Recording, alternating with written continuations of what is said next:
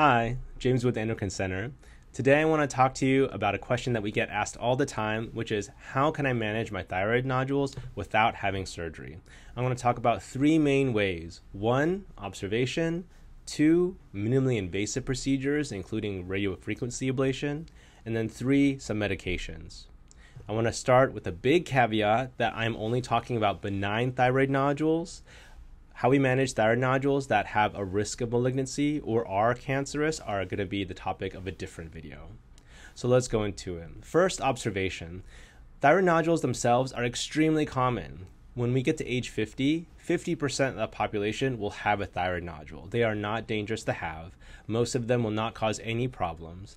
And once they've been proven to be benign on biopsy, we do not worry about them becoming cancerous. And so, for many patients who have no symptoms, meaning that they don't feel any pressure in their neck, they don't have any trouble swallowing, they don't have to have any treatment, and you can simply follow along and get a thyroid ultrasound at regular intervals just to make sure that it's not growing and we don't have the wrong diagnosis. B, we can do minimally invasive procedures, which include radiofrequency ablation and thyroid artery embolization. In brief, radiofrequency ablation, or RFA, is you come to the office and we insert a long needle into the thyroid nodule, very similar to a needle biopsy. But this needle is attached to a machine that heats the tip and it actually burns the thyroid bit by bit from the inside. We move the nodule, the needle around until we've burned all of the thyroid, and that will cause that thyroid nodule to scar down and shrink. Pretty much it'll go down to about 30% of its original size. It won't go all the way away. It'll become this little scar. And that process takes about six weeks total to start getting some shrinkage and up to six months before it says to its final size.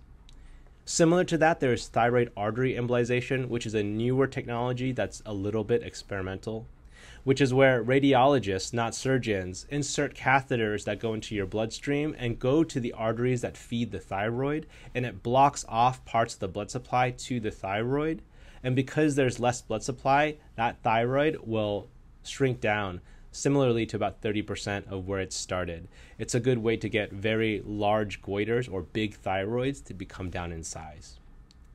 Finally, there's some medications. Now, there's not any magical medication that's really going to make thyroid nodules smaller, but Many thyroid nodules are under the control of your body and its hormones, specifically a hormone called TSH, thyroid stimulating hormone.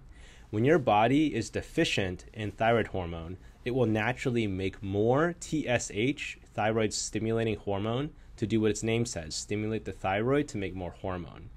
And so, if you are deficient, your nodules are going to grow slightly faster because your body is telling them to grow faster. So in those patients, giving some thyroid hormone, supplementation may actually slow down some of the growth, although even in some people who have very normal thyroid function, benign thyroid nodules will still grow a little bit. So that's about it for today. Thanks for watching. Uh, please visit our website for more information or check out our other videos. Again, I'm James with the Endocrine Center. Thanks for watching.